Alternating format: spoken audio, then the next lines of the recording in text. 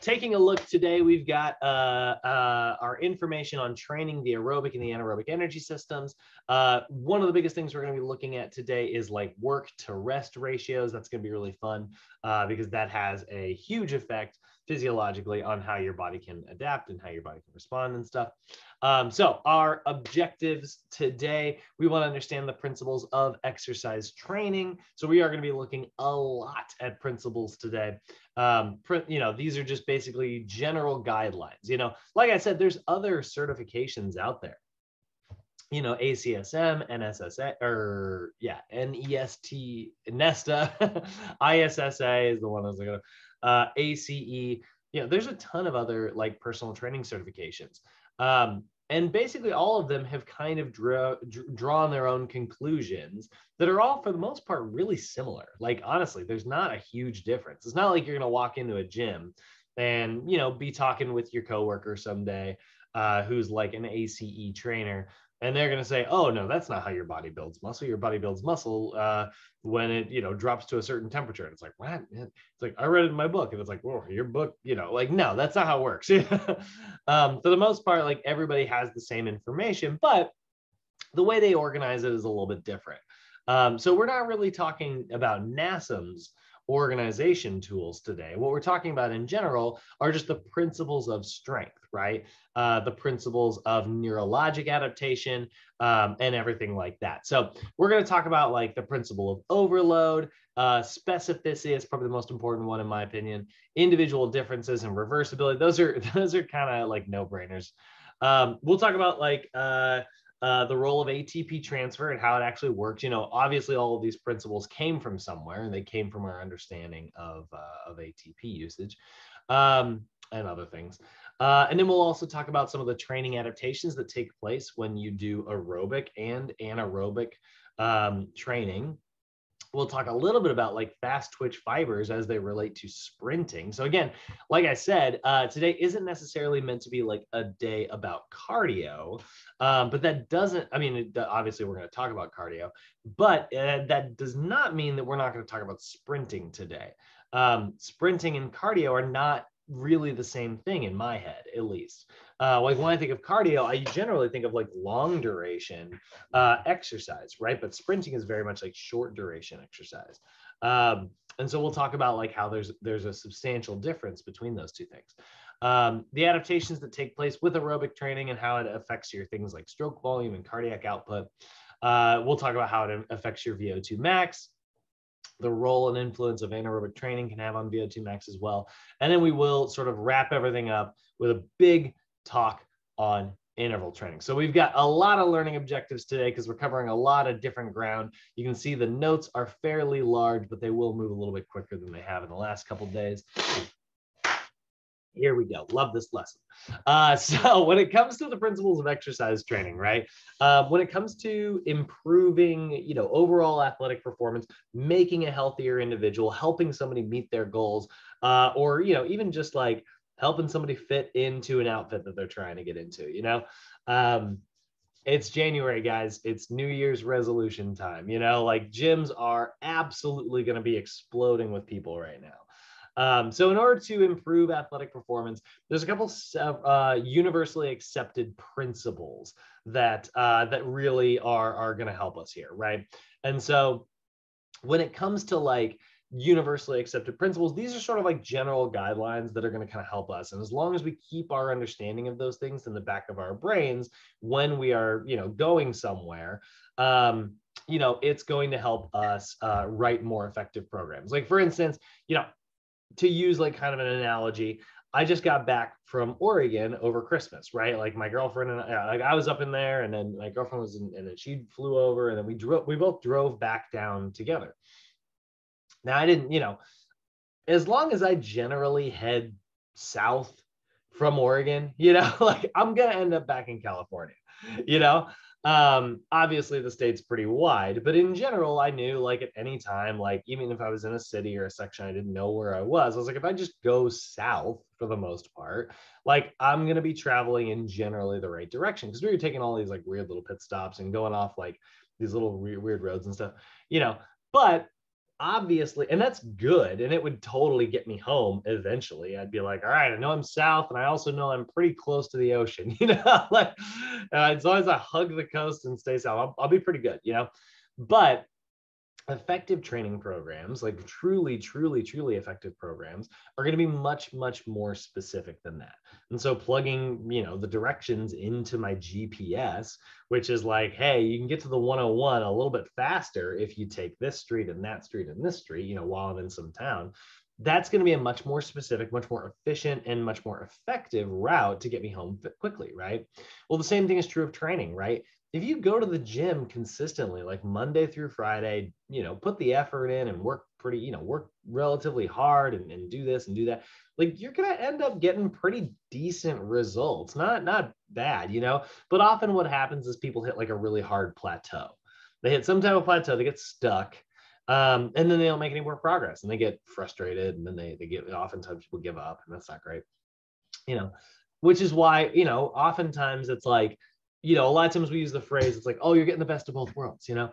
I would argue if you are doing very general training, a lot of times you're getting the worst of both worlds. You know, you're getting uh you're sort of taking some of the you're you're getting some of the strengths of this and some of the strengths of that, but unfortunately, you're also getting a lot of the weaknesses. Um, so uh, effective training definitely is going to be much more specific. Um, and your cardiovascular system, you know, is where we're looking at very, you know, specific types of like training as well, because like obviously there's a lot of differences between, you know, like a marathon runner, a football player, a basketball player, soccer player, right? All of those people are definitely going to rely a little bit on cardiovascular uh, work, but they're all very, very, very different sports, right? Um, so regular exercise obviously has very big benefits uh, when it comes to obesity due to calorie burn, diabetes due to glycogen. You know, if we're working really intensely, we know we can burn through our glycogen stores, so our body can utilize sugar more effectively, which is great if you have diabetes. Uh, it can affect your blood pressure. Think about like when you're doing cardio, right? You're consistently sending blood from one spot to another, uh, and that can have a really positive effect on like strengthening your heart and like you know getting your blood vessels to learn how to contract and relax and contract and relax. Like we want to do little blood vessel reps you know? Uh, and it can have a really positive benefit on our cholesterol particularly men are going to get a big i mean this has a for the record exercise has a positive benefit for all of us but guys we have a really positive benefit to lowering cholesterol uh, which is helpful considering that men have way worse cholesterol in general than, than most women do statistically at least um, but one of the things is like exercise will help you convert your cholesterol into testosterone, which then will have muscle building benefits. So that's great. You know, we're getting a lot of like really cool, you know, benefits from exercise here.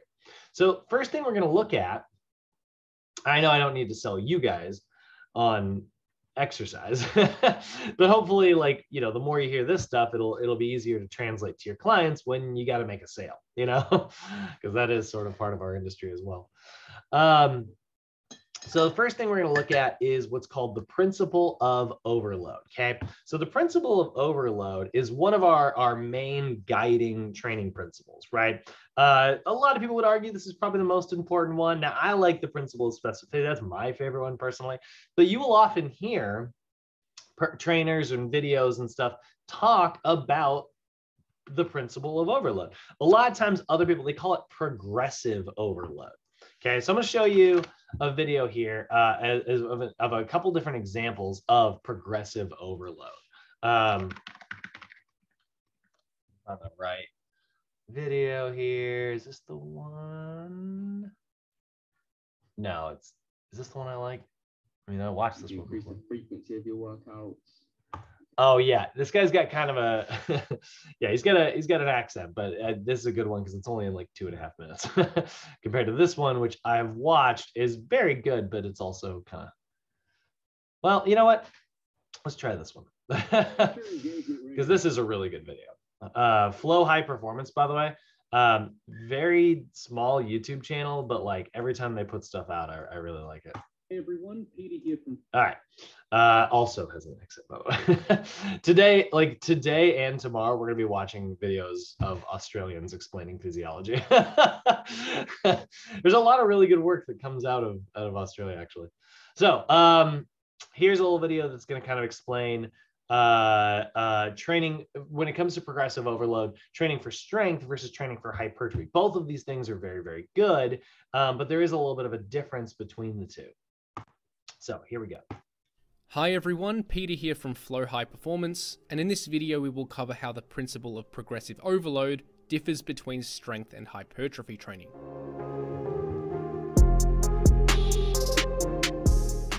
First, let's establish what exactly the principle of progressive overload is. Progressive overload essentially refers to making training harder over time. The training stimulus must disrupt homeostasis to some extent to cause an adaptation of some form. However, as the system adapts to greater stress levels, the stimulus required to disrupt homeostasis becomes greater. If we always provide the exact same stimulus, then we simply won't continue to adapt and improve. Instead, we will maintain the same level of adaptation. So in terms of resistance training, this basically means that we need to train harder over time in order to continue making strength and hypertrophy gains. But what does training harder actually mean? How much harder should we train? What variables do we need to manipulate? And how does this differ between strength and hypertrophy? These are the details we will try to answer throughout the rest of this video. To understand this, we first need to explore what exactly strength and hypertrophy adaptations are. Let's now explore each of these adaptations in more detail. First, let's take a look at muscle hypertrophy. Hypertrophy simply refers to an increase in muscle size. This is primarily achieved through a phenomenon we call myofibrillar hypertrophy. This is when we see an increase in the number of myofibrils, which are the smallest form of contractile tissue in the muscle. As we increase the number of myofibrils, each muscle fiber becomes larger in diameter, which ultimately leads to a bigger muscle belly. This results in a thicker overall muscle, which is the ultimate goal of hypertrophy style training. There are also other adaptations which have been proposed to contribute to muscle growth.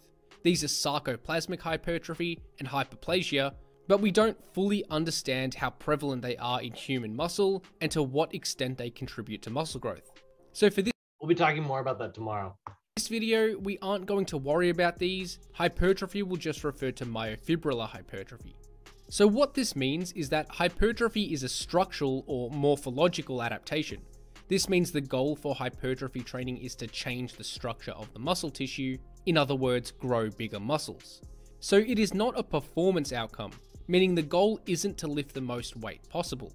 This will have relevance to the concept of progressive overload when we cover it later in this video. Strength, on the other hand, is a different adaptation.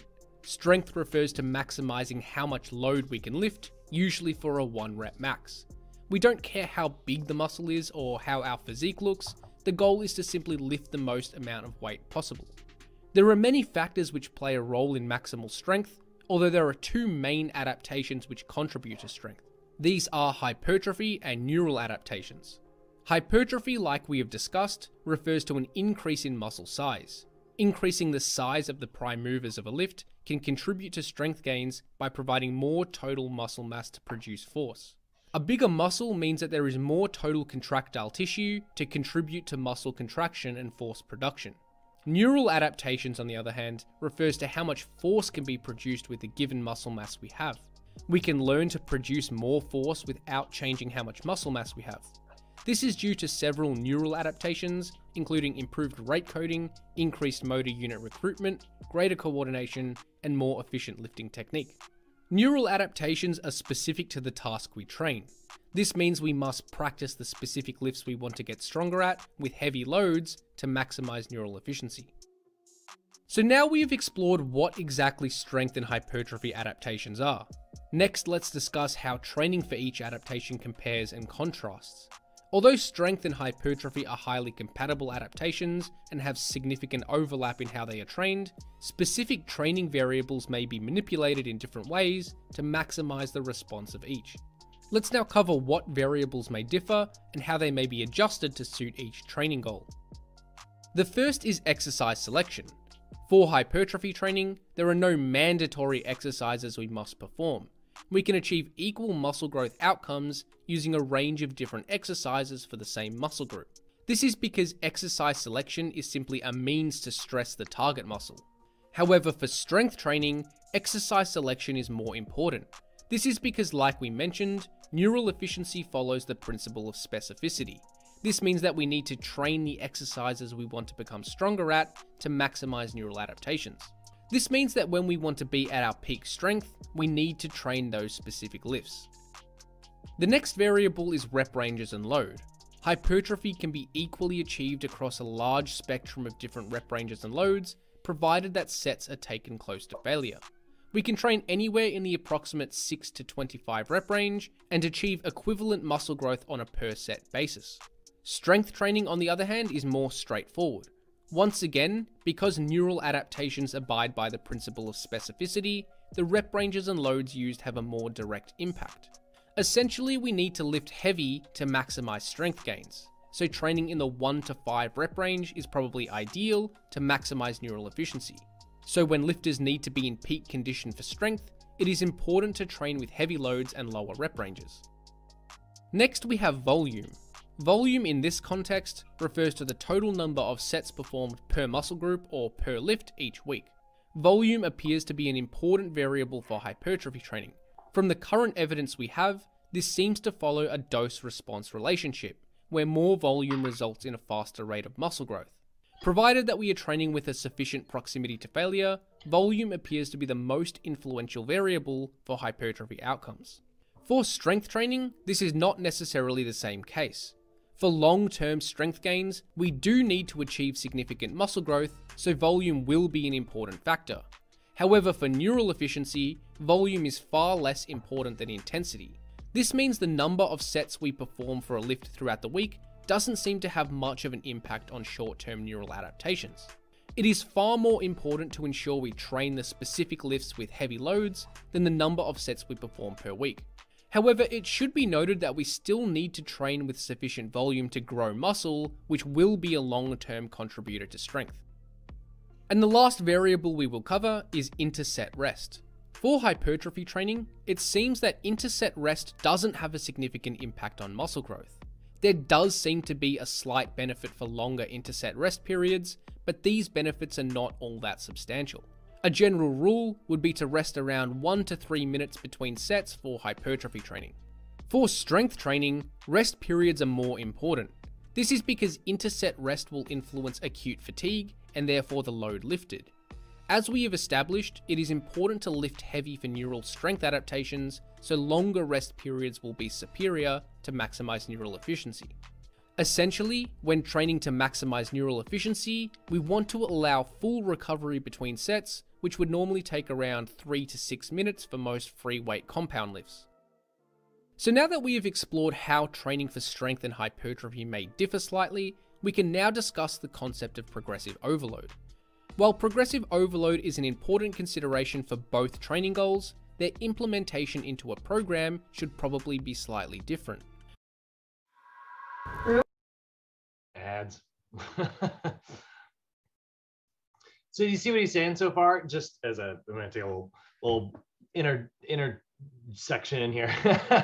um, so he's talking about a lot about how like there is sort of a substantial difference. Now, you'll notice that some of the numbers might be off from the ones you're familiar with. And Alexia and Simon, I know you guys actually aren't super familiar with our numbers just yet. That's what I'm going to teach you at the end of the module. But like David Joseph and, and Chris, you guys might have noticed you're like, uh, that guy just said hypertrophy is like six to 25 reps. See, NASM takes the stance that it's anywhere from six to 20, but really for the maximal muscle growth, NASM's a big fan of six to 12. 12 to 20 is much more reserved. It will result in muscle growth. Like I say this all the time, like the stabilization level uh, whoops, does not get enough credit for being as good at muscle growth as it actually is. It's it's much better for muscle growth than it than we think of when we hear stabilization. We often hear stabilization, we think cardio. And hey, guess what? That's correct and and it is good. But like there is still some muscle growth that does happen there, right? Um, it's just how we progress it's very very different. So you know, and then the one to five strength range, that's pretty much the same uh, for everybody. And then, you know, one thing he's not talking about here is like cardiovascular adaptations. You know, well, we would just extrapolate this even further. You'll notice that like our intensity was really high for strength, it was medium for hypertrophy. Well, if we're going for cardio, our intensity would be low because we're trying to, you know, uh, go over like a long duration, right? And then like we talked about how like the rest period for hypertrophy is like one to three minutes. The rest period for strength is like some people will say three to five. Sometimes it goes even higher. I've I've seen a very old school workout that is like literally like eight minutes of rest. Um, and then uh, when it comes to cardio, you want to keep your rest as short as possible because that's going to force cardiovascular adaptations. So uh, I think he's about to get into. Yeah. Okay. So here's the actual progressive overload part. This is the, the real part that I want you guys to pay attention to. Oh, Each I'm training goal on mute. Good job, me. All right, here we go. with training goals, training for strength and hypertrophy may differ slightly, we can now discuss the concept of progressive overload. While progressive overload is an important consideration for both training goals, their implementation into a program should probably be slightly different. Let's now cover how they can be applied to each training goal and how they may differ. The ultimate goal for strength training is to lift more weight. So for progressive overload, the intent should be to lift more weight over time. If we aren't lifting heavier loads over time, we aren't getting stronger. This doesn't mean we need to increase load lifted every single week, it just means that over time, we should be consistently aiming to increase load on the bar. This will be a result of several different adaptations, including muscle growth, neural efficiency, and technique improvements. But ultimately, these all help us to lift more weight for more repetitions over time. For example, let's say a trainee wants to get stronger at the back squat. Over a 12 week period, a training program may look something like this. As we can see here, the lifter intentionally increases the load lifted and works in lower rep ranges across the 12 weeks.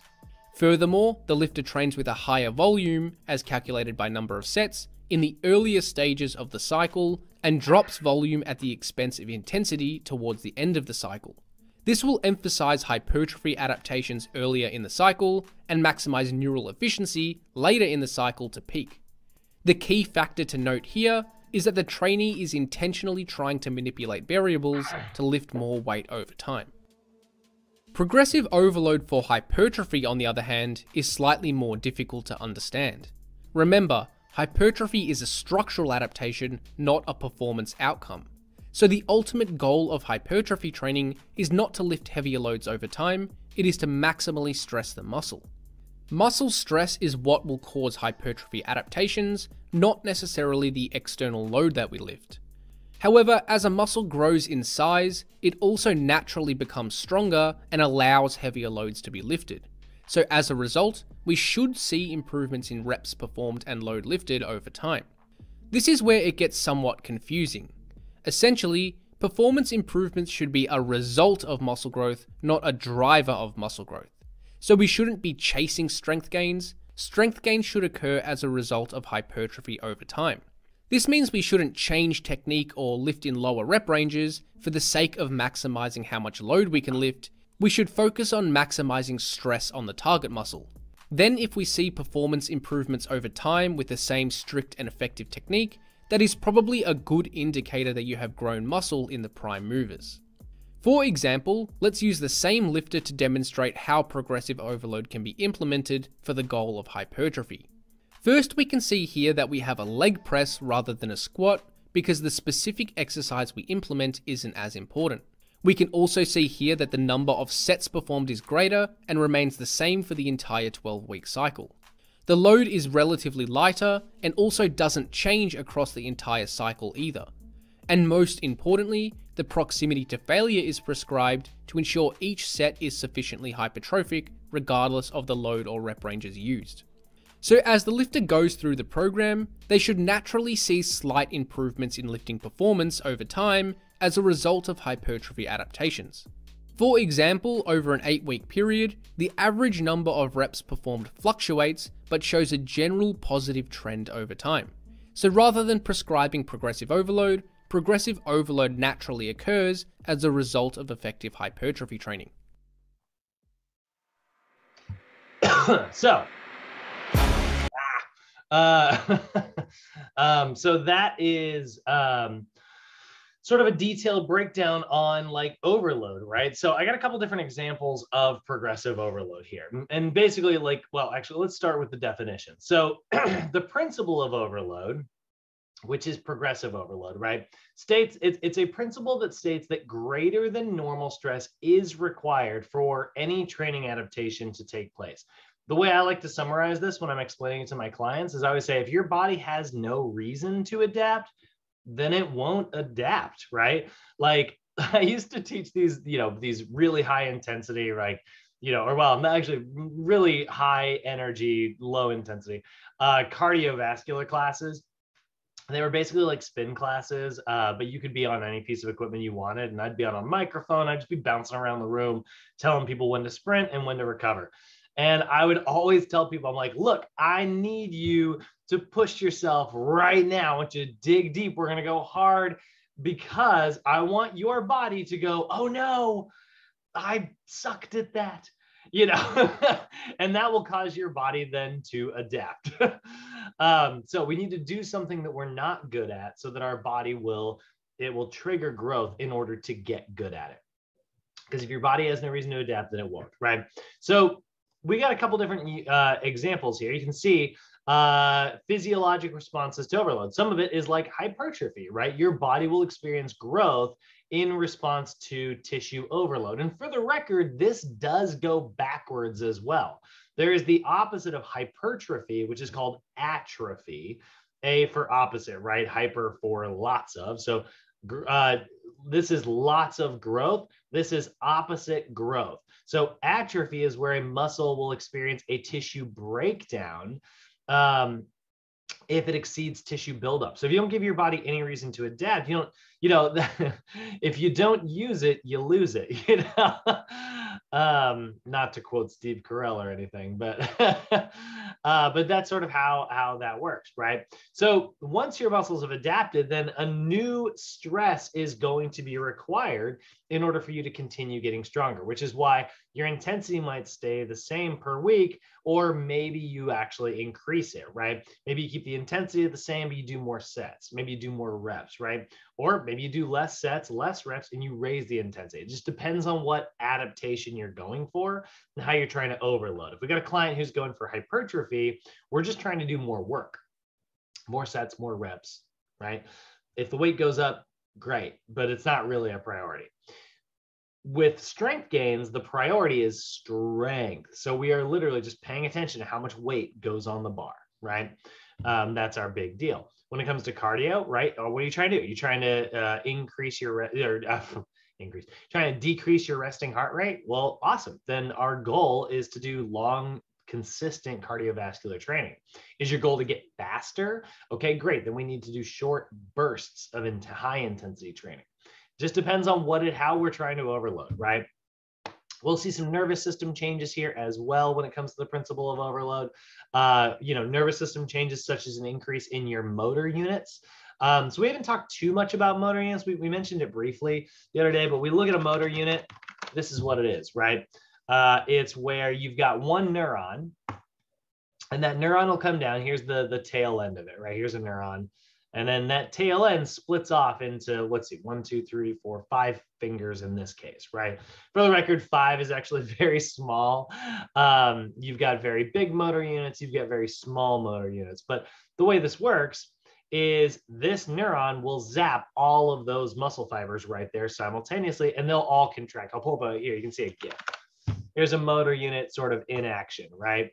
Um, so the stimulus travels down the neuron, zap, zap, zap, zap, zap, and they all contract simultaneously. That's a motor unit. So strength is very determined. When I say strength, I mean how much weight you can lift, is very determined by uh, how many motor units you can recruit. So, like a single motor neuron and all the my muscle fibers it innervates can really zap like a lot more muscle, especially if you make more motor units, right? So, like when you guys are contracting your eyeballs and you're like moving them around and you know doing all this like look over there look over there right? You're squeezing like i don't know i think it's like 20 to, to 30 motor units at a time. How many hold on let's take a look. How many motor units move at our eyes? Uh yeah six muscles we know that but how many Yeah, I'm not seeing it. we don't need to spend too much time on that. Anyway, it's probably, I think it's like 20 to 50 motor units, uh, 20 to 30, 20 to 50 motor units used for your, you will use thousands of motor units when you're squeezing your glutes. It's the biggest muscle in your body, right? Um, so there's just a big difference there. We, we, you know, I'm not going to the gym to lift a barbell with my eyeballs, you know, um, but I'm definitely trying to lift with my glutes as hard as I can, right? Um, so that's a little bit of motoring. And then we'll also see another adaptation, which is an increased ability to stabilize muscles, increased stabilization due to what we call proprioception. Your body will develop a better awareness of its body position, what form it's in. This is improved form, basically. And then all of a sudden, you'll also have better balance, you know? Um, so uh, Alexia, I think, is the most relevant example of this, or you're, you're in the closest proximity to the relevance to what I'm about to say. But let me ask you guys a question. And I know some of you guys know the answers because I ask you this all the time. Uh, do you think walking is harder now that you are an adult? Or do you think it is harder when you are a little kid? You've got a little kid, so I'm assuming what do you think? You know, I'm sure you've seen him walking along and then, you know, just out of nowhere. When I was a kid, my parents used to say they would literally watch me stand and I'd just be doing nothing. And I would just very slow and I would just fall over. My parents said all of them. They were like, I said I was the clumsiest, clumsiest kid they'd ever seen. um, so, Alexia Simon, let me ask you do you think it's harder to walk now that you're an adult or harder to walk when you're a kid? A uh, kid. yeah. See, here's the thing. I think what you're saying makes a lot of sense. Uh, when you're a kid, you're very uncoordinated, right? And so a lot of falling down. but here's the thing as an adult, you're way heavier. like, like gravity's pulling harder now. So I would argue that it is harder to walk as an adult, but the difference is you're very, very, very good at it now mm-hmm. because your body has been overloaded so often. The heavier you got, the more your body adapted, right? The heavier you get, the more your body adapted. You got better and better and better and better and better at it. So I'd argue that it's actually harder to walk as an adult, but adults are better at walking. Does that make sense? Yeah. kind of a weird distinction there but i love that. I think that's really motivating you know? Nothing in this world not to get on like a tony robbins soapbox or anything like that but nothing in this world ever gets easier. We just get really really good at it which means we have the ability to kind of get good at anything we want you know? Um, and that's the principle of overload in a nutshell. It depends on what you're trying to over how you're trying to overload because it's going to depend on what you want to adapt to you know um, but that's a big part of it. Now, cardiovascular changes are also going to be adaptations, right? Uh, so, for instance, your body will increase the number of mitochondria in your cells. There is such a thing as mitochondrial hypertrophy. However, it's not um, it's not a lot. um, in fact, a lot of times we're talking about mitochondrial hypertrophy, they're a little worried about it um, sometimes like we don't want to see hypertrophy in your heart we want your heart to remain the same size because uh, if your heart gets bigger it pulls the chambers apart that's we don't love that but um, here's the thing the more hypertrophy you shove into a muscle cell there's more stuff in the muscle cells. The muscle is going to be a little bit bigger. And that's why, yeah, type 1 muscle fibers are definitely smaller than type 2, but it still does result in muscle growth. And that's why in the video he was saying like you'll get hypertrophy with a rep range of like six to 25. NASM would have said six to 20. Um, and you'll get mitochondrial hypertrophy from like 12 to 20. you'll get like sarcoplasmic, which is like fluid glycolysis hypertrophy from six to 12. And you'll get myofibrillar hypertrophy from like one to five. Uh, we will see those different hypertrophy types uh, and muscle growth. We'll see those tomorrow because we're talking about training the muscular system tomorrow. Um, but it's a good thing to, to bring it up now because like it's very relevant to the principle of overload, right? So all of those are overload changes, right? Your body goes, oh no, I need more mitochondria. So it makes more mitochondria. Oh no, I need more rods running through my muscles. So it makes more myofibrils. Uh, oh no, I need more cellular volume. So it makes your muscle cells bigger, right? All of those are related to progressive overload. Um, any questions so far or comments, comments, questions, concerns? Everybody feeling good? So when you're doing hypertrophy, how do you say it? Oh, it's the worst. Hypertrophy. you can say hypertrophy. Um, but yeah, I think it's I think it is supposed it's a hypertrophy. hypertrophy. So you can still gain strength through hypertrophy, but that's not essentially the goal. Like strength right. would come naturally. Exactly. So like, you know, honestly, like Arnold Schwarzenegger is kind of a, an example of like he's a bodybuilder, right? Um, he's not a power lifter, but he is still really strong. Like, make no mistake about it. Mm-hmm. Um, you know, and and he, and that's also because he's like an old school bodybuilder. We didn't know as much about this stuff back in the day, so a lot of bodybuilders unwittingly also became very strong um, in the old school style. Nowadays, a lot of bodybuilders are actually kind of weak in mm-hmm. comparison, um, just because they know how to be like, well, I know how to make my muscles big, um, and that's all they focus on because that's how you win the competition, you know. I'm sure somewhere out there, a bodybuilder is like the neck on their hair just raised up. He's like, somebody's talking trash, you know.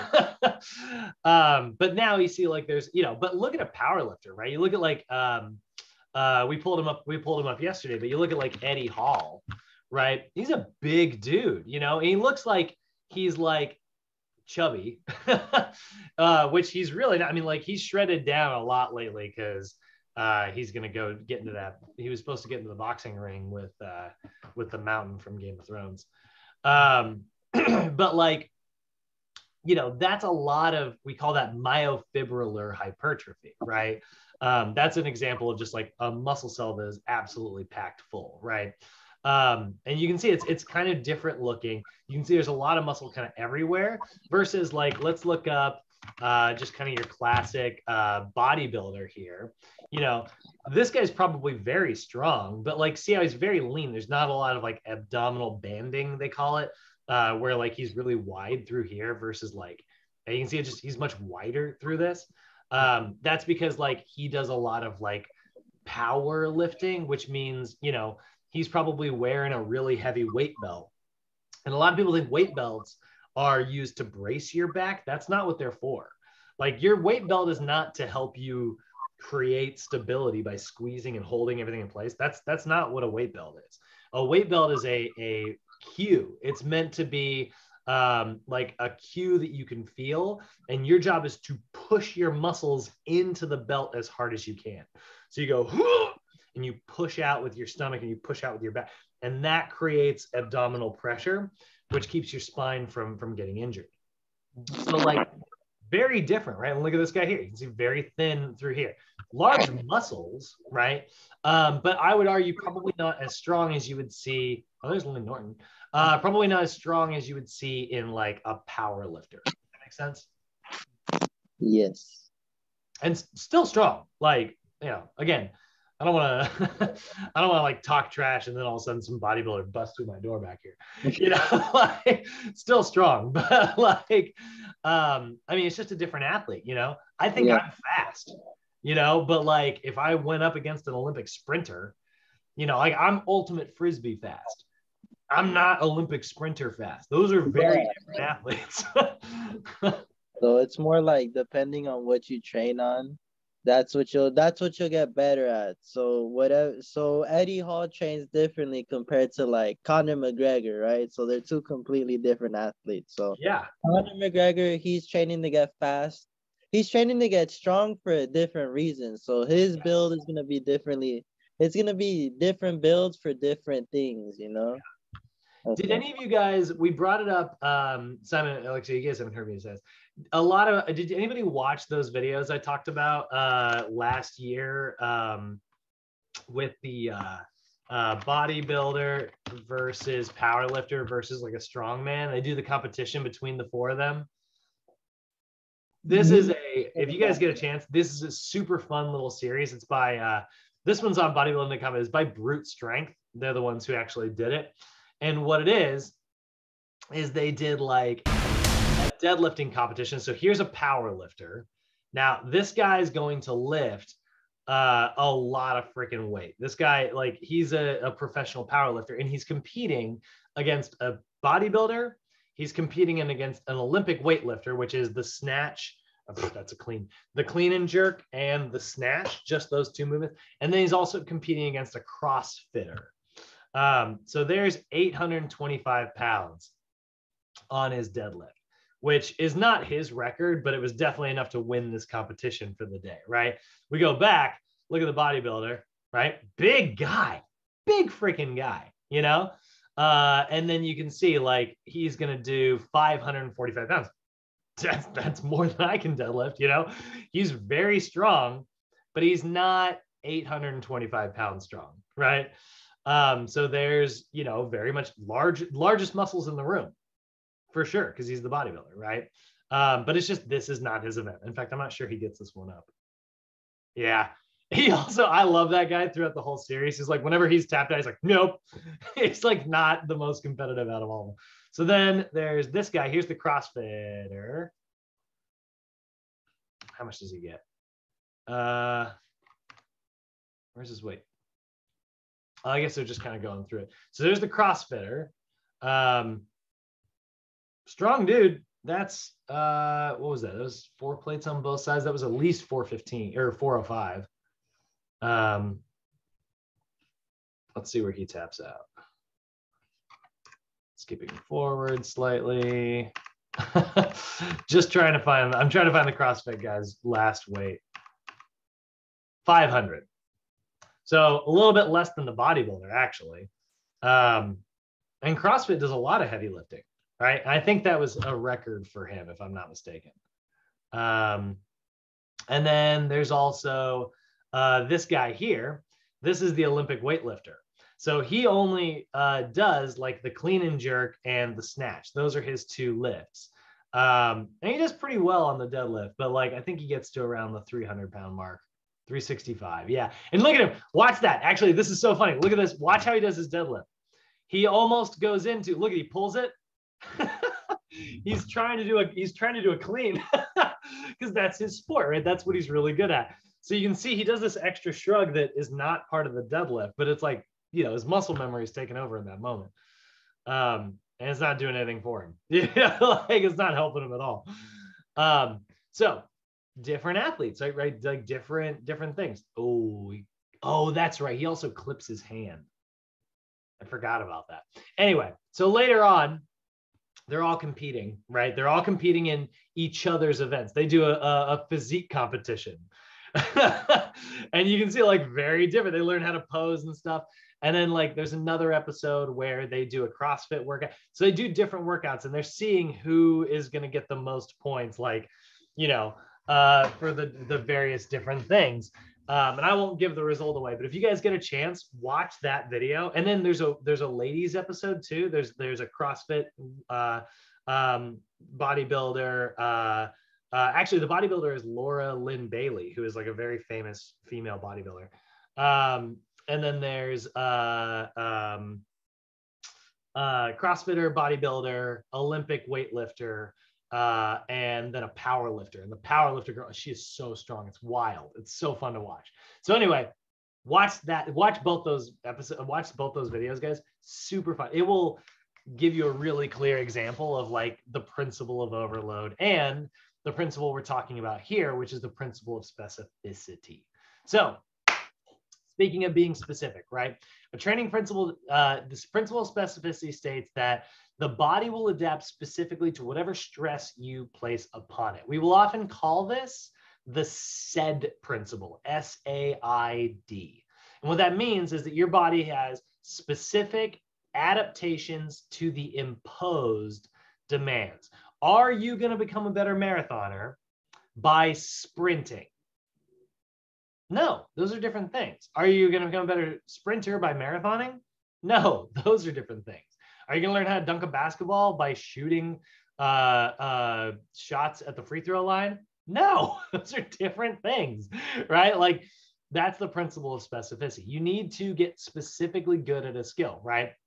So aerobic athletes are going to engage in much more type 1 cardiorespiratory exercise whereas like uh, strength athletes are going to focus more on type 2 strength training exercises so here's the other side of the principle of specificity this is one of the reasons why it is so freaking important to train with proper form when you do something the wrong way, your brain is learning how to do it the wrong way. and that's not good, right? So proper execution of the of the movement patterns is very important because your body will adapt to that style of training. So there's sort of three sides to this, and I'm not going to spend too much time on this today, but this becomes really important in other classes. Um, there's three sides to being specific. There's the mechanical side of specificity, there's the neuromuscular side of it, and there's the metabolic side of it. And what that means is like the mechanical side is like, okay, when I'm picking an exercise and I'm picking how to do that exercise, how many sets, how many reps, stuff like that, right? Um, mechanically, I'm going to look at my sport and say, okay, I need to be really, really strong for this sport, right? Um, and so I look at it, I'm like, okay, I need strength. So mechanically, I'm going to lift very heavy and I need strength in my legs. So I'm going to pick leg exercises.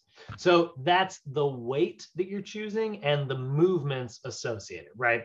So, yeah, if you're a runner, you need to strengthen your legs, right? If you're a uh, boxer, you need to strengthen, I mean, honestly, you need to strengthen everything if you're a boxer, but like you need to strengthen your arms, right? And your chest, and you know, you need to get better at punching in particular, right? Serratus anterior and stuff, you know? Um, if you're a calisthenics athlete you need to strengthen your your your lats you know? So you're going to pick body parts and then specifically whatever weight it is that you're trying to do right? Um, now neuromuscular side of being specific uh, is going to be the exercise selection and the tempo. Exercise selection refers to are you picking a machine? Are you picking uh, an exercise like on a stability ball doing something really wobbly or are you picking something that um, you can like throw, be kind of explosive with, right? It's the choice of version. It's like the difference between like a chest press uh, while you're on like a ball, right? So I'm like on a stability ball right now and I'm doing a chest press like this, right? I'm doing all this balancing stuff. It's great for stability, terrible for strength because it has nothing to do with lifting heavy. If I want to lift heavy, I got to be on a bench or in a machine, and I'm just going to drive that weight up as much as I can. And if I was trying to build power, I'd probably use like a ball or something and throw it as hard as I can. Exercise selection. Cable machines are very wobbly, right? Regular like machines are very stable. Benches with barbells are very stable, right? So you're choosing the exercise selection and then you're also choosing your tempo because that's going to have to do neurologically. If I'm trying to get more strong and I'm trying to get more explosive, I need to lift explosively, right? If I'm trying to develop stability, I need to lift kind of slowly to give my brain time to learn the movement. So if I'm wobbling around like this, I'm probably going to go really slow with my tempo. And that way, every time I move over here, my body, my brain has time to go and put me right back in the right spot, right? So the neuromuscular side of things is the exercise selection. Think of that as how stable the exercise is and the tempo, how fast you're lifting. And lastly, the thing that's very relevant for the last 12 days we've we've well the last couple days we've had in class right?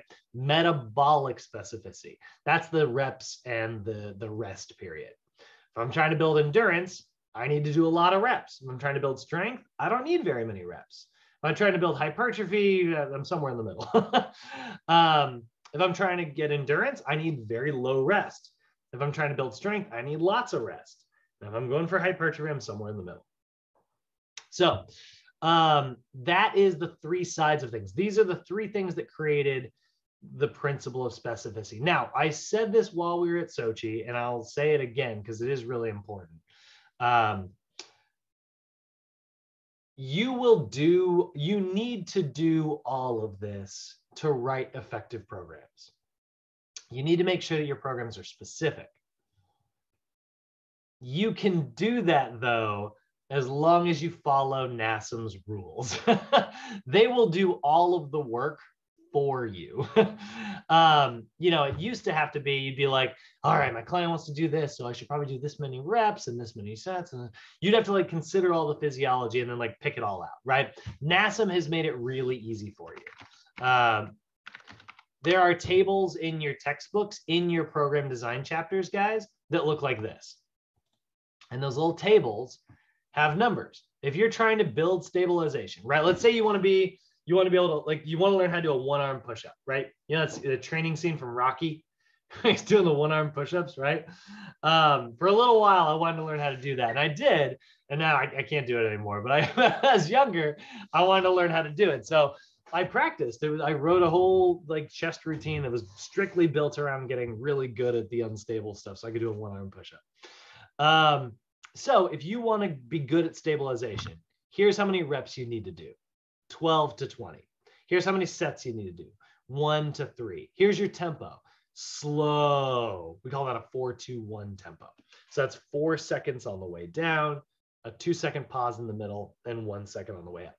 Uh, the intensity is low. It's only 50 to 70% of your one rep max. If you can lift 100 pounds, it's like 50 to 70 pounds. And zero to 90 seconds of rest. You follow all those rules, you will be applying physiology perfectly. That's why you guys came to NASM. Like, we're all going to apply the rules of physiology to write really effective workouts for our clients. And it's honestly really easy. All the work's been done for you. You just have to memorize those tables. so you don't have to like continually flip to those pages over and over and over and over and over again. And that, uh, for my two new folks, that is what I will teach you guys at the end of the module. So when we get to the weight loss class, it'll be the last class you guys take before we bring in the next group of students. Um, we always do program design at the end of the mod. Mr. Brad, one question. Also, when you start working at the gym, do you have to do, fill up a forms too? Do what? Do you have to fill up like some forms for like new clients or something like that or no? Yeah, so you'll always start by doing like an assessment, which you'll have like a little assessment form to fill out. Um, and then you want to write them a workout. So you want to write something that kind of looks like this. Uh-huh. Um, and then do can we do that as a practice or no? Oh yeah, very much so. No, no, yeah, you're gonna get sick of practicing it. Trust me. yeah, no, we it just we do that at the end of the month. Right now, we're doing all the science. We'll teach you how to practice that stuff at the at the end of every module. Okay. And then when you get to Mo's class, guys, like I usually just give examples for you. I do a lot of the program building. You'll do program building when we meet in person. Uh, we'll start getting into that later, uh, later in the next couple weeks. Um, when you get with Mo, though, he's going to be having you do it like every day. Like that's that's what the capstone is. It's like you guys know all the science. Show me how to apply it. You know. Um, so there is kind of a different. That's why we have two different teachers and two different sections.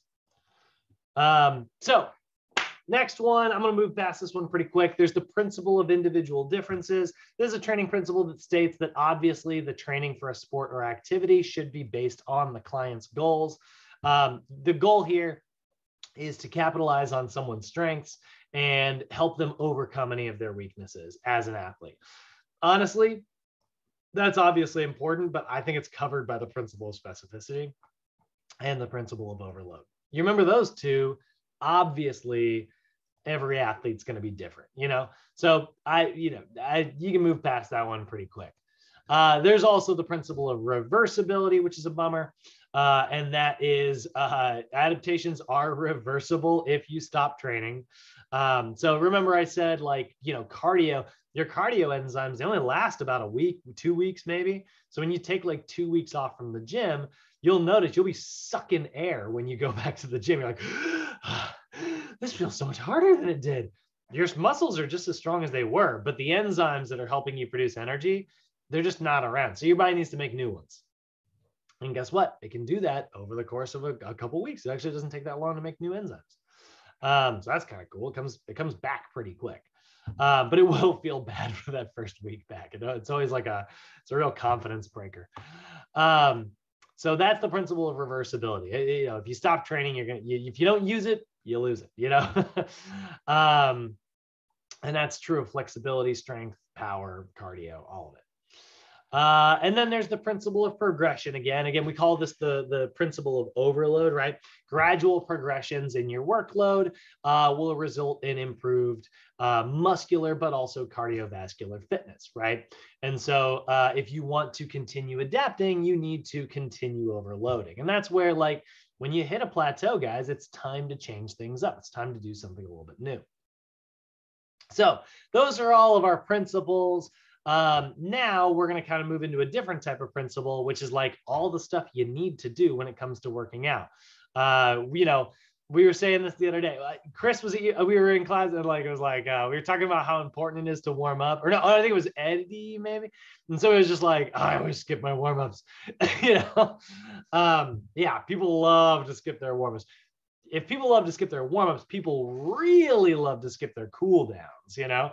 Um, but trust me, guys, warming up and cooling down has benefits beyond just protecting you from injury. Because I, God, I constantly hear this. I hear it all the time where people are like, I never warm up and I never get hurt. It's not just about getting hurt. It is also about making sure that, like, you know, you are having the, your best performance possible. It's like, so I'd say, yeah, you may not have gotten hurt, but I'll bet your performance would have been better if you do it, you know, this way.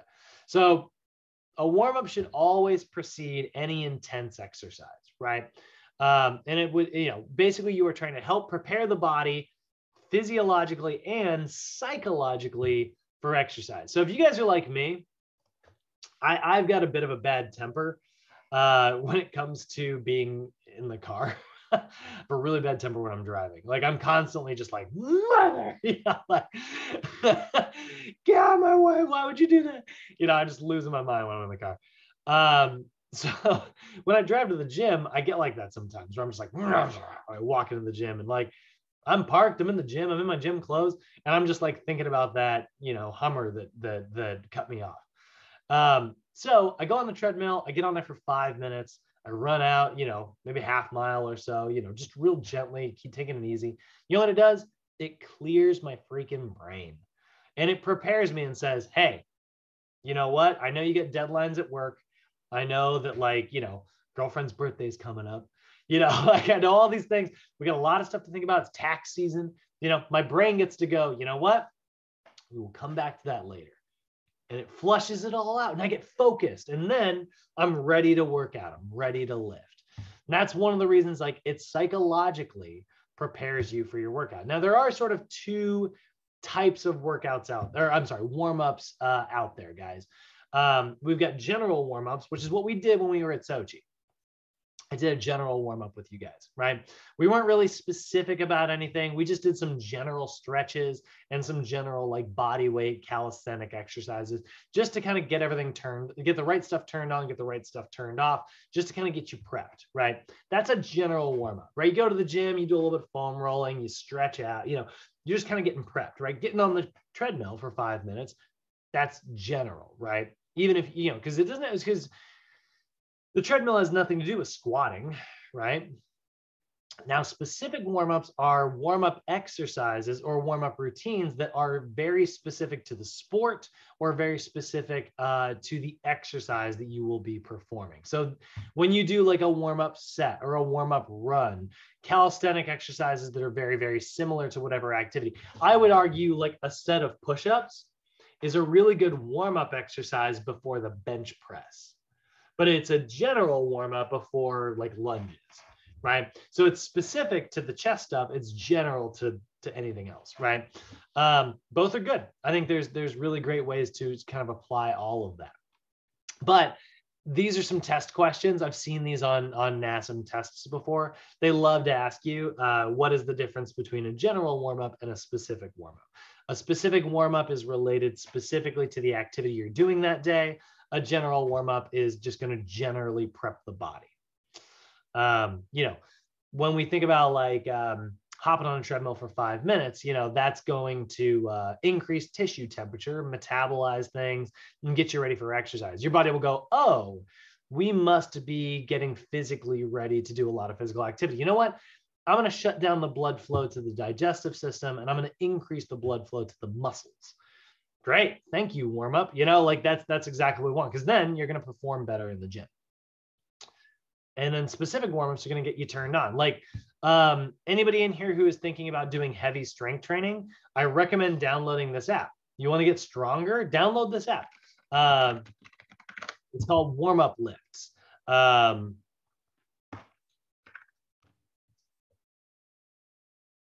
uh, oh, where is it?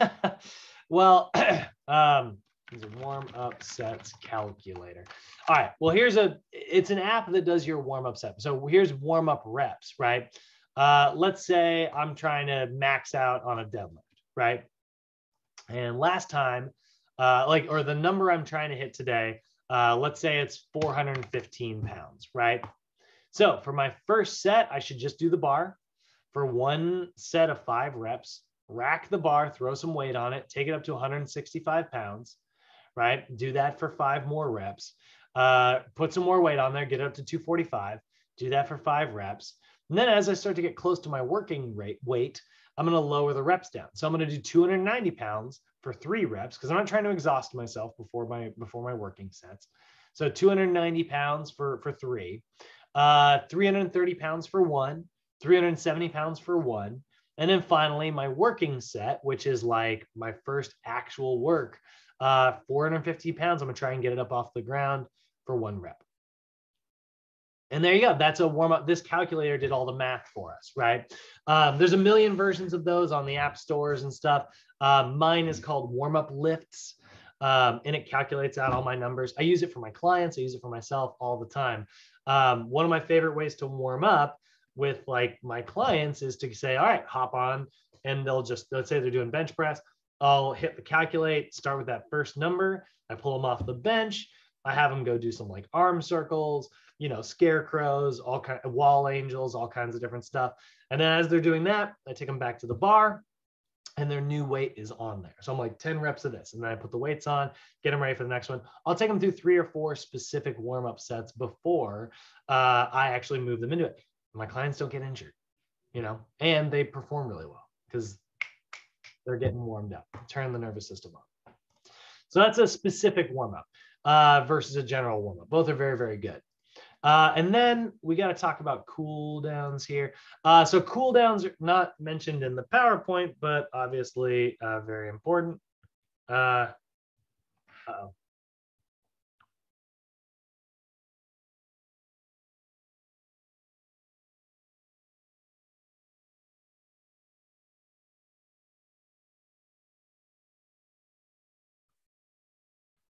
Uh,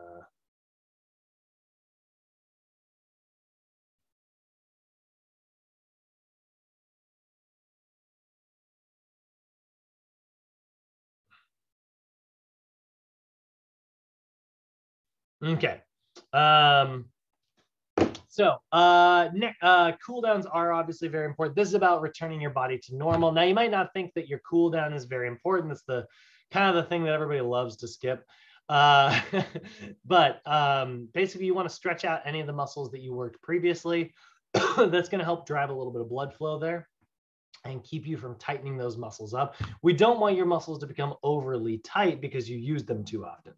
Um, hold on just a second, guys. God. Um,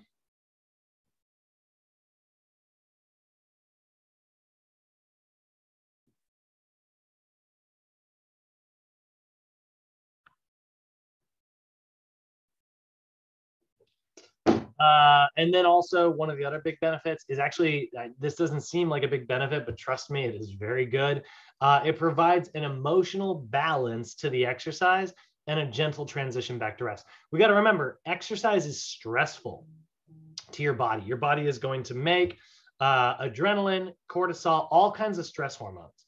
So when you're trying to get back to normal, you need to recover right after your exercise is over you need to like return it back to home. So you're saying to your body, hey, we're done. We fought the bear. We won. It's over. De-stress. And that's really important to, to, to help like rebalance your body. Uh, and then also when it comes to decreasing soreness, a little bit of cardio after your workouts I don't mean like you have to do a full cardio session or anything like that, but just five minutes on the treadmill doing a little bit of cardio uh, can help flush out any of the uh, lactic acid that you might be leaving in your muscles. Uh, if you got nauseous during your workout, that can help balance that out, uh, and it will help with your soreness.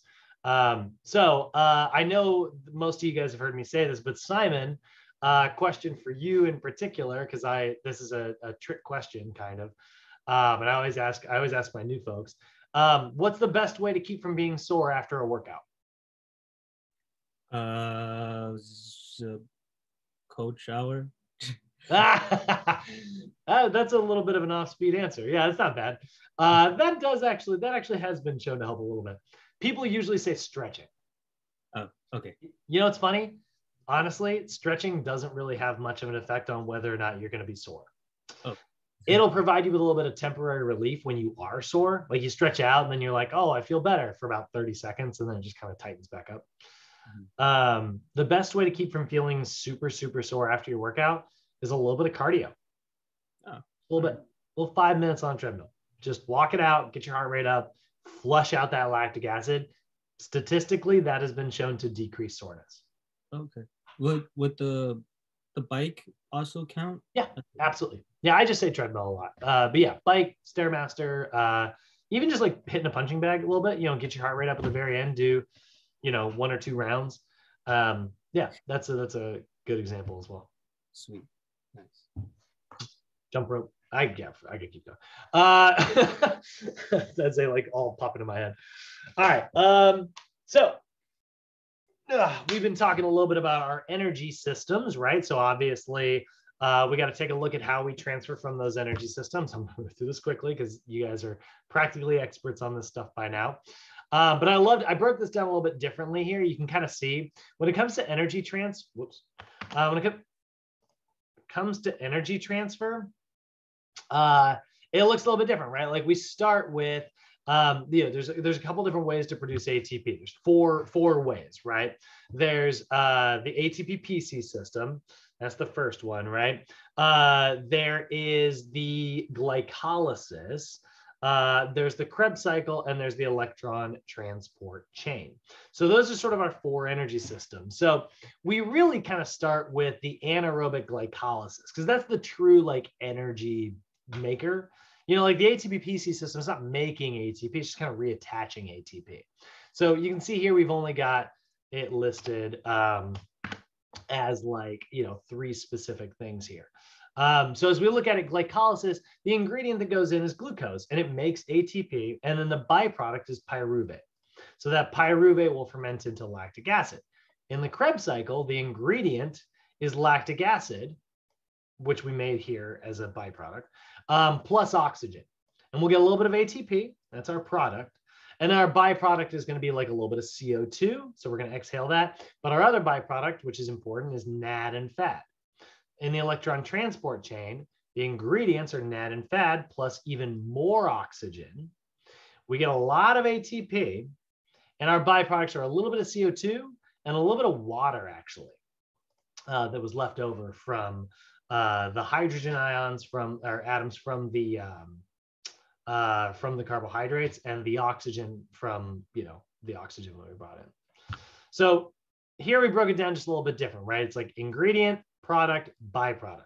And then this byproduct becomes the ingredient. And then this byproduct becomes the ingredients, right? Uh, and this would be like uh, two molecules of ATP. This would be like two molecules of ATP. And this would be, depending on who you ask, we'll say 36 molecules of ATP. Um, ish. 36-ish. We're, we're not 100. We don't have a flat number for that one. Um, so anaerobic adaptations are, you know, where your body is going to get better at this section, glycolysis and the, the, the ATP-PC system, right? Um, that's where your body is going to sort of, you know, get particularly uh, you know better at that, right? So some of our anaerobic adaptations that we're going to see um, are going to be like, uh, and when we talk about like anaerobic athletes, right, we're talking about athletes in non-endurance sports. Bodybuilders are a very good example of that, right? I would argue football players are a really good example of an anaerobic athlete. You might be saying it's like, well, football players have to do a lot of running. They're on the field for you know a whole game. Um, you know what's funny about football, guys? How long, uh, how much time is actually spent playing football? it's about 18 minutes worth of actual football time every time you watch a game. Like all the commercials, all the timeouts, all the breaks, halftime, all that stuff. You know, you're watching a, a three hour game, you know, um, there's only about 18 minutes of action. Now, split that in half because half of it's offense and half of it's defense, right?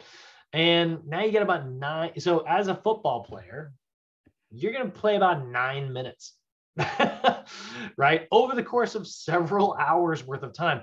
I would argue that's a pretty anaerobic athlete.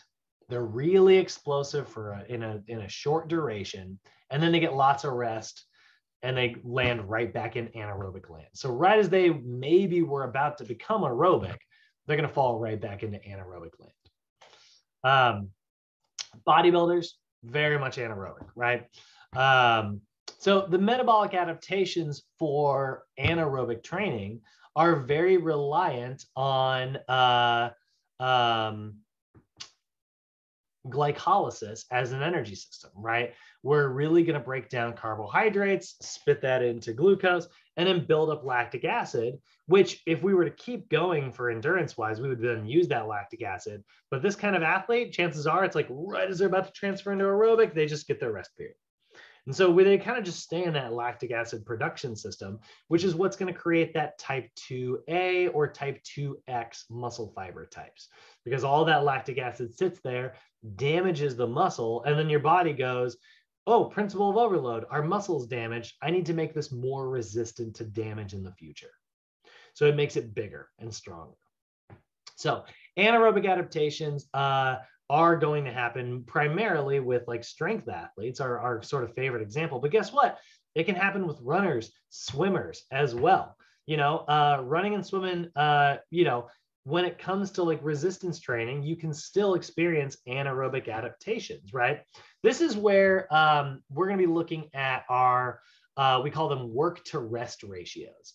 Um, so if you're trying to get better at glycolysis, honestly, a one to one work to rest ratio is going to work pretty well or higher. Um, you're probably going to want to go like one to three, maybe even one to five. What I mean by one to three is like, or one to five, is I mean that like if you did 30 seconds of work, you're going to take 90 seconds of rest. So let's say you get on a treadmill and you do a one to two work to rest ratio. You do 20 seconds of sprinting and you do 40 seconds of rest. There's a really famous uh, uh, soccer player. Um, oh, God dang it. Soccer player cardio routine trip. What's Uh, what's it called? John Terry cardio workout. So I've, I've showed this before, but the John Terry treadmill workout. John Terry's a footballer. And uh, here's how this uh, workout works. So you get on a treadmill and you stick it to a 12% incline. That's 12 on the incline. Uh, and you put it at 11.2 on the speed and let it get up to speed. You're standing on the edges. And you'll notice what you do, this guy here, you're gonna you're gonna put your feet on a treadmill and sprint for 20 seconds. So he's on it. Oh, good. Get out of here, Grimmerly. Um, so he's sprinting for 20 seconds. And then he jumps off the treadmill. He sits there and recovers for 40 seconds. So you can literally just look at the one, you know, look at the timer on the treadmill. For the first 20, you sprint, hop off. And then when it gets to two, the two minute mark, that's the next minute sprint for the first 20 seconds of, of minute number two. So sprint, recover, sprint, recover. That is a killer cardio routine. And it actually primarily rely, it's very aerobic, you know, because he's going to be breathing like really crazy, but he's actually very much training anaerobically. 20 seconds is very short, right? That's glycolysis. However, 40 seconds of rest, not enough time to fall back. Um, really in and fully reset the system. So you really don't get rid of all the lactic acid, which is why I would argue this is still aerobic because of the limited rest periods, only 40 seconds. Um, but look at how much he is training in the glycolysis, right? It's 20 seconds. That's perfectly glycolysis. So, you know, um, what's great about that is that it's going to teach your body how to recover faster. Your body's going to go, wow, I need to adapt to this better. I need to like learn how I only get 40 seconds to recover whenever I train. I need to recover in faster than 40 seconds. So what is going to happen? Your body's going to get better at dealing with lactic acid. And that's the adaptation he's going for. Probably pretty freaking important for a football player, uh, soccer player, right? So that's where interval training comes in. When it comes to anaerobic athletes, bodybuilders, uh, athletes in most sports, interval training should comprise the bulk of your metabolic training when it comes to cardio. Now, that's not true for marathoners, right? Marathoners, they need to focus more on aerobic adaptations. Okay. So marathoners are going to work much more in the aerobic side of things. They want to get better at producing ATP in the mitochondria, thanks to the Krebs cycle and the electron transport chain. So they need oxygen much more than an anaerobic athlete. Okay. So that's where your cardio training for aerobic athletes is going to focus much more on oxygen. And so your adaptations, rather than like increased muscle, uh, increased, you know, lactic acid production, instead, your adaptations are going to be cardiovascular. Uh, your body is going to increase your stroke volume. So it's going to pump more blood every time your heart beats. Your heart will beat harder without having to beat more often, which is great. Um, it'll increase, uh, it'll decrease your blood pressure overall. Um, actually, yesterday, fun, fun fact, fun story. So I go in for this uh, uh, uh, COVID thing. Um, so I'm doing this COVID medical experiment right now. Uh, they were looking for people who haven't contracted COVID, uh, who hadn't gotten their booster yet. Um, and so they're testing out a new booster medication. Um, and so I was like, yeah, I'll be a guinea pig, you know? Um, so I had to drive down to Long Beach and I had to test my blood pressure uh, and make sure that it was normal um, before uh, before they're allowed to like draw my blood and do all this stuff. And uh, my blood pressure was lower than it was supposed to be. It was like it was like um, normally blood pressure went like 120 over 80 mine was like 105 over 60 and they were like or 105 over 59 and it needs to be a minimum of 60 for them to start the, the thing. And they were like do you want to do you test it again? I was like yeah give me one second. I just go and i just like held my breath for a second. And then had them retest it. And it's like whoop my blood pressure you know jumped up to the normal number. And then they were allowed to proceed with the test. but they were like, yeah, you get really low blood pressure. And I was like, well, I'm a, you know, I do a lot of cardio. And like my resting heart rate was really low. And they were like, we need that to be a higher. So, um, so that was kind of funny. Uh, that happened yesterday. Um, but that's that's you know cardiovascular adaptations. Your blood pressure is going to drop because it's able to get more work done with less pressure. Uh, your stroke volume is going to increase because it's going to get better at pumping blood throughout the body. Um, and your heart rate's going to slow down because it doesn't have to beat as often. Uh, and then your body is also going to make um, pulmonary adaptations in your lungs as well. It'll actually get better. It'll create more enzymes, uh, which will allow the exchange of oxygen molecules into your blood cells more effectively. Uh, your body will make more uh, hemoglobin, so it will actually attract more molecules of oxygen. And then uh, in your uh, actual muscle cells, your body will have more mitochondria to eat up all that oxygen and spit out energy. Great for long duration cardio. But typically, athletes when we talk about like sports, you're probably going to want to be type 2A or type 2X. Type 2X is like the true explosive. That's like the power lifter we were looking at. And the type 2A is more um, a little bit of endurance. So if you guys watch that brute strength thing, I don't want to give the results away, but I would argue that the CrossFit athlete and the bodybuilder are both uh, type 2A athletes. And I would argue that the power lifter and the Olympic weightlifter are both type 2X athletes. So you'll watch the video and see which one does the best overall. And you'll notice like bodybuilder actually does pretty well in some of the endurance events. He does okay. Um, power lifter, not so great in the endurance events. Olympic weightlifter, not so great in the endurance. But the CrossFit athlete pretty much kills it in every endurance category um, because he's pretty strong. He's not super strong, but he's pretty strong. And he's got a good amount of endurance. Not as much as like maybe a runner, but still a very, very good amount. That's a type 2A athlete. LeBron James, really good example. Very strong. You know, every NBA player, by the way, is a good example. Um, but very strong, but also a good amount of endurance. So athletes are going to train primarily for those two. Type 2X uh, fibers, by the way, those are explosive ones. They're going to benefit from things like plyometrics. Um, they're going to benefit from really heavy lifting. So, uh, David, you were talking about like uh, Conor McGregor, right? If you want to get better at like punching harder, uh, you need to, to be explosive here. So probably things like clap push-ups, medicine ball throws. Uh, but pair that with super heavy lifting that is relatively explosive. Maybe a bench press that looks like this. You know, driving it up as fast as you can. No pauses, right? Pausing doesn't do anything for, you know, uh, uh, an explosive athlete. You know, in fact, it kind of hinders things. Um, factors that are going to affect that you got to be able to deal with the discomfort of anaerobic training. Here's what sucks about anaerobic training, guys. Um, it freaking burns. You know, like you're producing all that lactic acid, you know, and so it builds up. Um, and that's where like you got to be able to deal with that. Athletes, that's a really big deal. You know, you get two athletes on the field. Um, this is one of the reasons why when you're watching football, you see like a really aggressive drive by like a team's offense and like the defense is just exhausted because they're working as hard as they can every play. And when you see those teams that have like a really effective, like hurry up offense, that other that defense is just sucking air. And if they get a turnover, you know, really quick, this is where like I get so mad at my Seahawks all the time when I'm watching football.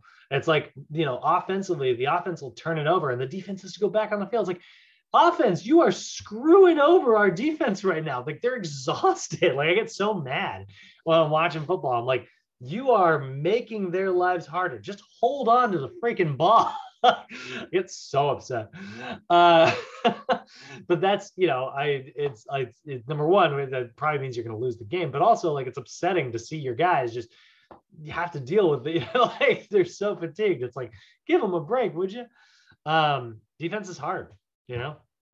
So um, athletes are definitely going to want to primarily focus on anaerobic training, but that's going to help them deal with that lactic acid buildup. So our factors that are going to affect both aerobic and anaerobic training are things like intensity. You know, that's the, the, the level of demand compared with maximal effort. Remember, there's a difference between intense and hard. I'd argue the marathon is hard, but it's not intense at all. Um, whereas like sprinting, I would actually say is easier than a marathon, at least easier on the body overall, uh, but is much more intense um, because it's a percentage of maximum effort. You're giving your full max effort in 10 seconds. Whereas a marathon, you're giving a little bit of effort over two and a half hours, you know? Um, so the intensity is one of the things we want to consider. The duration's another one. Obviously, we just said like 10 seconds versus two and a half hours. Frequency is a big one. You know, uh, you don't want to do high intensity and, and high frequency. That's a, that's a recipe for injury. You know, if you're working as hard as you can every single day with no rest, you're going to definitely pull a muscle. It's a, it's a, it's a recipe for disaster, you know? Um, so we have rest periods, right? This is one of the reasons why we have like training cycles. I love to do like upper body on uh, Mondays. That's like usually chest, back, and shoulders. I love to do like lower body on Tuesdays. Uh, that's like mostly like legs. I do a little bit of core work in there. Uh, love to do cardio on Wednesdays. Uh, and then I reset the cycle. Upper body again on Thursdays, lower body again on Fridays, cardio again on Saturdays, and then I don't work out on Sundays. You know, I'll go hike, you know, do something gentle, but like it's an off day for me, you know.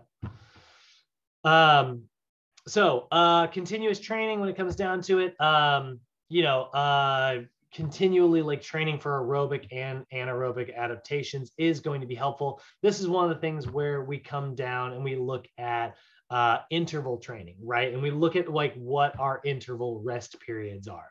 This is what I like to call your work to rest ratio. Talked about it a minute ago. Uh, this is where you're going to have like a couple different versions. So if you're training for your immediate energy system, that's like ATP PC system, right? You want to have bare minimum a one to three work to rest ratio. So uh, if I put you on, let's say I take you out to the field and we do like a, a, a, box drill, right? So a box drill is four cones, sprint, side shuffle, back pedal, side uh, karaoke, uh, and then you're done, right? One, two, three, four. And it took you 10 seconds. Nah, it's gonna take longer than that. Let's say it took you uh 30, that's a lot. Let's say it took you 20 seconds. 20 seconds to do the whole thing. Well, then I'm gonna give you three times the amount of rest to recover. So the best for the immediate energy systems is like a one to three or a one to five work to rest ratio. So I would either give you 60 uh, up to uh, nine, uh, 60 to uh, 100 seconds of rest if it took you 20 seconds to do. That's one of the reasons why you want to time your athletes, you know? Uh, if you're trying to get better at glycolysis, a one to two work to rest ratio works. Um, so just like we saw in the video, um, he was doing 20 seconds of sprint and then double that in rest. So he's doing 40 seconds of rest. That is a terrific work to rest ratio, by the way, if you're trying to get better at glycolysis. Bodybuilders, when they do cardio, do a one to two work to rest ratio. It's great. You only have to do 20 minutes. It doesn't have to be a lot. Um, heck, actually, uh, sorry, it. You can do 15 minutes. That's great. You know, but that's the type of cardio that is going to give you the adaptations you want to be better at that. And then if you're going to do interval training as like a marathoner, uh, Joseph, trying to get better at half marathoning, right? Uh, aerobic stuff, a one to one or one to one and a half uh, work to rest ratio. So maybe you do like a 60 second sprint, 60 second jog, 60 seconds on, 60 seconds off. And your durations can get a lot longer. You know, I was talking about like 20 seconds or 10 seconds earlier. Um, your durations can get a lot longer when you're in the aerobic system because your intensity is going to drop. But that's a really great one, right? Sprint, you know, when you're out there, um, one of the best ways, like honestly, a great half marathon routine, guys, go to a park that has a really long uphill stretch run up it for one minute, turn around, walk or jog back down for one minute, turn around, run up it for one minute. You'll make a little bit of progress, kind of like this, until you get to the top of the hill. Terrific way to train for a marathon.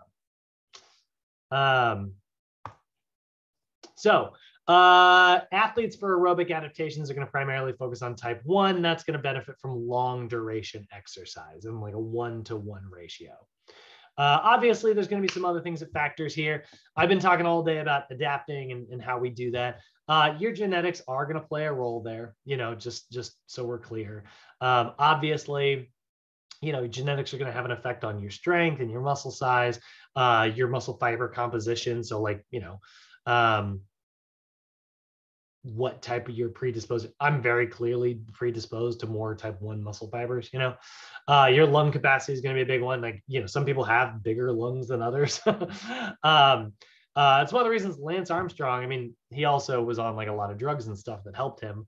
Um, but like lance armstrong one of the reasons he was so effective at cycling his heart was just a little bit bigger than the average person's and so were all of his blood vessels. He was exceptionally good. He was genetically predestined to be very good at cardio.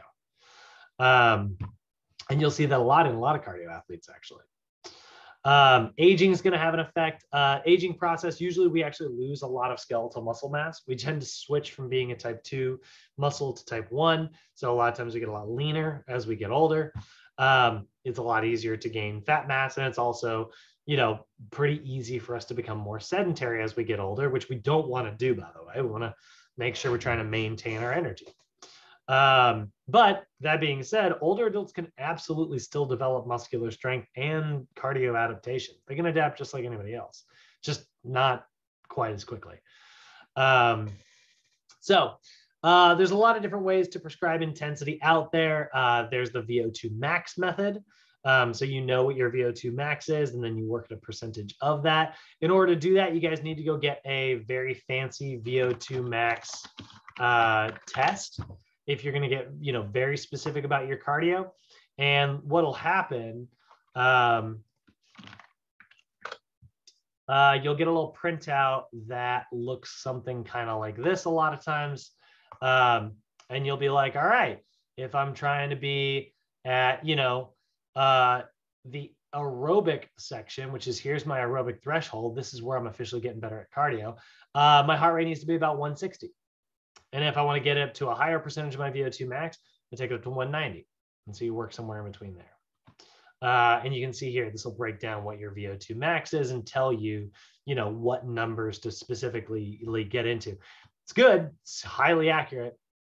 If you're a professional athlete and you've got access to this, go for it. Generally, for most of our clients, uh, we are going to prescribe exercise intensity on a percentage of their heart rate max. So let's say, uh, uh, you know, um, Joseph is is working on his half marathon training, right? And I know his resting heart rate is let's say 65 beats per minute. Uh, Joseph, how old are you? 49. 49. So we'd say 220 minus 49. Uh, um, uh, that's his heart rate max. So I could work him in a specific percentage here and just say 65% or 75%, right? But instead, what I'm going to do is uh, I'm going to minus his resting heart rate. Uh, let's just say, actually, do you know do you know your resting heart rate, Joseph? I do not. We'll say it's very good. We'll say 60 beats per minute. So we'll say minus 60 times 0.65 plus 60, and then I'll get him another one and do that. Uh,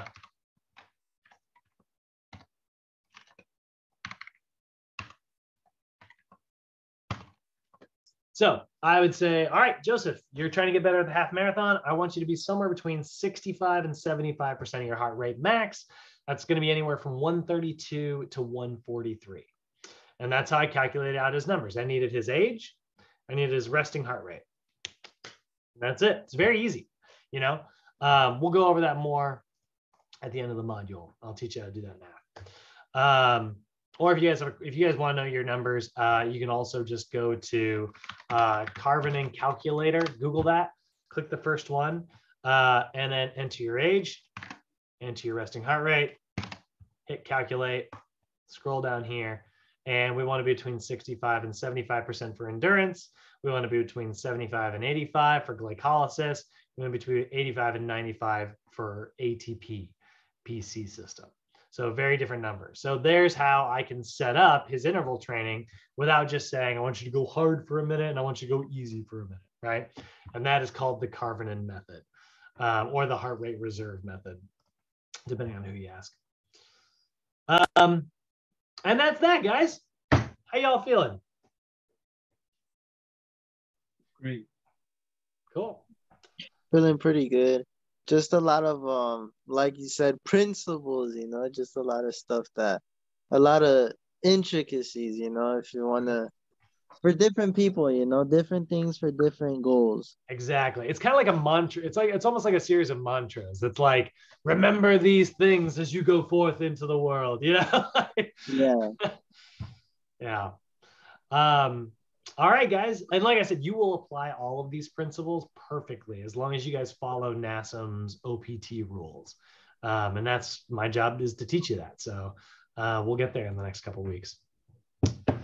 Um, all righty. So, fellas, I'm going to go ahead and wrap up today's call, and uh, I will see you tomorrow. Sounds good. All right, later, later.